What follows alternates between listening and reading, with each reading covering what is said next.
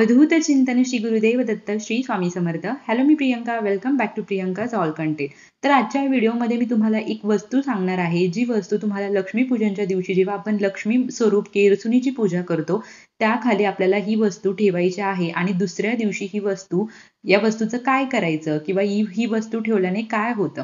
तर बघा तुमच्या घरामध्ये जे अलक्ष्मी असते तिचा जो वास असतो ती या वस्तूमुळे घरातून बाहेर निघून जाते. लक्ष्मी माता स्थिर राहते घरात सुख शांती समृद्धी नांदते. चहूबाजानी बाजूनी येणारी जी संकट आहेत ती दूर होतात.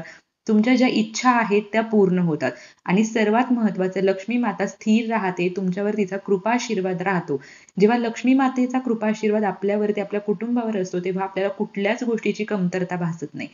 तर कुठली वस्तू आहे आणि काय सेवा आहे मी तुम्हाला सांगणार आहे. त्यामुळे व्हिडिओ स्किप न करता संपूर्ण पहा. तुम्ही चॅनलवरती नवीन असाल तर चॅनलला जरूर सबस्क्राईब करा.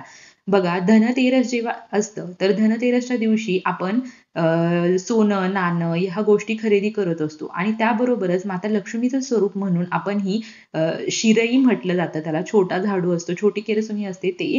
किंवा मग तुम्ही झाडू. असं जे आहे ते धनतेरसच्या दिवशी खरेदी करून घरी आणायचं आहे. धनतेरसच्या दिवशी खरेदी करून घरी आणल्यानंतर त्याला देवघरासमोर ठेवा.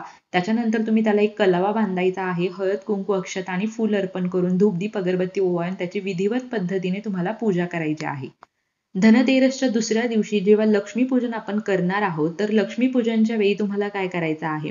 तर लक्ष्मीपूजनच्या वेळी जेव्हा तुम्ही ही केरसुनी पूजणार आहात तर ही जी केरसुनी आहे त्या खाली तुम्हाला एक अशी वस्तू ठेवायची आहे. तर तुम्ही काय करा एक छोटीशी पिवळी पोटली तुम्हाला घ्यायची आहे. तुम्ही रेडीमेड घेऊन येऊ शकता किंवा तुमच्या घरी एखादा लाल वस्त्र असेल पिवळं वस्त्र असेल तर त्याचा तुम्ही चौकोनी आकाराचा एक तुकडा कापून घ्यायचा आहे. स्वच्छ वस्त्र असावं ते.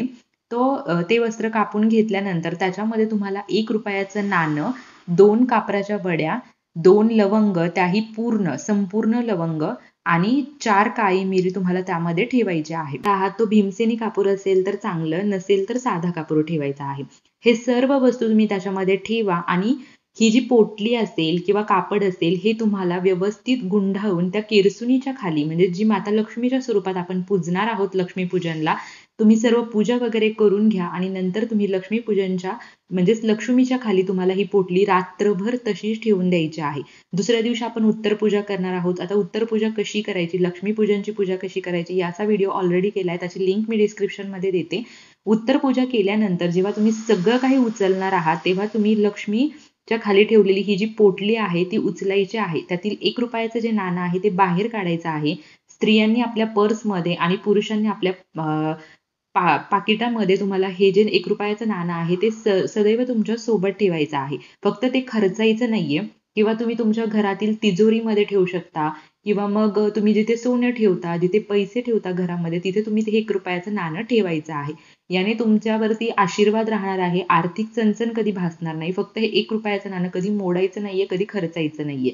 त्याचप्रमाणे त्याच्यामध्ये ठेवलेले जे दोन भीमसेनी कापूर आहे दोन लवंग आहेत अखंड लवंग त्या तुम्हाला एखाद्या दिव्यामध्ये किंवा ते धूप लावण्याचं भांड असतं त्याच्यामध्ये घेऊन ते तुम्हाला प्रज्वलित करायचं आहे. त्याचा धूर तुम्हाला संपूर्ण घरामध्ये फिरवायचा आहे. यामुळे तुमच्या घरातील ज्या काही वाईट गोष्टी आहेत अलक्ष्मीचा वास आहे ते सगळं काही बाहेर निघून जाणार आहे आणि घरामध्ये सकारात्मक वातावरण तयार होऊन सुख शांती समृद्धी नांदणार आहे. आणि ज्या काय चार काळी मिरी आपण घेतल्या होत्या त्या चार काळी मिरी तुम्हाला घराच्या बाहेर जाऊन चार दिशेला चार फेकायच्या आहेत. तर यामुळे काय होतं की चार दिशेहून म्हणजे संपूर्ण साईटने जी येणारी संकट आहे ती संकट तुमच्यावरची कायमची दूर होणार आहेत. तर अगदी साधी सोपी सेवा आहे. ही सेवा तुम्हाला लक्ष्मी पूजनच्या दिवशी नक्कीच करायची आहे. बघा लक्ष्मी पूजनच्या दिवशी आपण ऑलरेडी लक्ष्मी मातेची संपूर्ण विधिवत पद्धतीने पूजा करत असतो. त्यामुळे लक्ष्मी माता आपल्या घराकडे आकर्षित होत असते तिचा वास असतो. आणि त्याबरोबरच अशा छोट्या छोट्या सेवा छोटे छोटे उपाय केले तर त्याचा द्विगुणित फळ आपल्याला मिळत असतं. आपल्या घरात सुख शांती समृद्धी नांदावी संकट दूर व्हावी मनोकामना पूर्ती व्हावी यासाठीच प्रत्येक व्यक्ती उपाय सेवा करत असतो. तर त्यातलीच ही एक अगदी छोटीशी सेवा आहे. ही प्रत्येकाने नक्की करा आणि त्याचे अनुभव घ्या. बघा नंतर बऱ्याच जणांचा प्रश्न असा असतो की आपण लक्ष्मीपूजनला जी शिरई वापरतो किंवा झाडू वापरतो तर त्याचं नंतर काय करावं? बघा तुम्ही जी छोटी शिरई वापरता म्हणजे छोटी केरसुनी स्वरूप आपण लक्ष्मीची जी पूजा करतो तर ती जी लक्ष्मी आहे ती तुम्ही देवघरामध्ये देव साफ करण्यासाठी देवघर साफ करण्यासाठी वापरू शकता. डायनिंग टेबलसाठी वापरू शकता किचनमध्ये वापरू शकता. त्याचा वापर आपल्याला होतो छोटी किरसुनी आपल्याला लागतच असते. त्यामुळे त्याचं टेन्शन घ्यायचं नाही की त्याचं नक्की काय करायचं ते तुम्ही घरामध्ये वापरू शकता. आणि जो झाडू आहे तोही तुम्ही घरात वापरू शकता.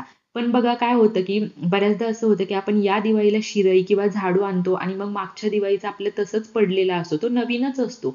पण आपल्याला तो नसेल वापरायचा तर तुम्ही एखाद्या मंदिरामध्ये जाऊन तिथे ठेवू शकता. झाडू असेल केरसुनी असेल किंवा मग अगदीच तो झाडू जरा वापरून वापरून थोडासा खराब झालाय आणि आता तुम्हाला तो काही नको असेल तुमच्या घरामध्ये तर एखाद्या झाडाच्या ठिकाणी तुम्ही तो ठेवून देऊ शकता. फक्त तिथे कोणाचा पाय पडणार नाही अशा पद्धतीने तुम्ही ते ठेवू शकता किंवा मंदिरात दान करू शकता.